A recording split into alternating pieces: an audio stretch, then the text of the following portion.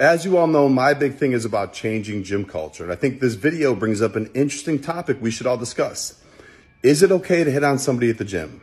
Personally, I don't think she did anything wrong. In fact, I applaud what she did. She gave him her number. She didn't bully or harass him or become overbearing. She gave him her number and let him choose. I think we can all take a lesson from that.